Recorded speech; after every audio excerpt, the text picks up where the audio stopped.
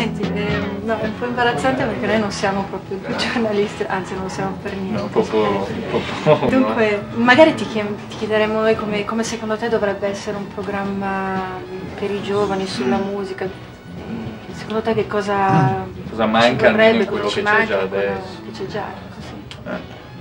Ma secondo me non, ehm, non manca molto, però qualcosina manca per arrivare a un certo livello. Ah, di che cosa? Io parlo più che altro della televisione italiana, quindi rispetto per esempio a quello che succede in America, dove ci sono 5 o 6 canali specializzati in musica, trasmettono solo quella.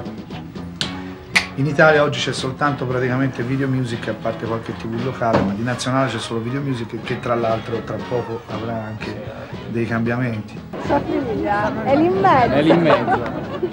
Ma a lei piace Masini o è venuta solo per accompagnarla? mi piace. Dalle quattro che sono qua. Dalle E dalle quattro. quattro. Perché Marco ti fa impazzire. Eh, infatti. No, un amore. Accompagnatori o fan? Che non hanno gli altri che Fan. Ama la musica, ama la musica, sa cantare. Scusa, sa non per farti, ma per esempio esprime- eh, Venditti, Bennato, questi No, altri no, non amano la Sì, musica. ma Marco riesce, Sì, cioè, eh. proprio cantando, riesce ad esprimere tutto quello che ha. Cioè Ti piacciono le parolacce che dice Sì, perché-.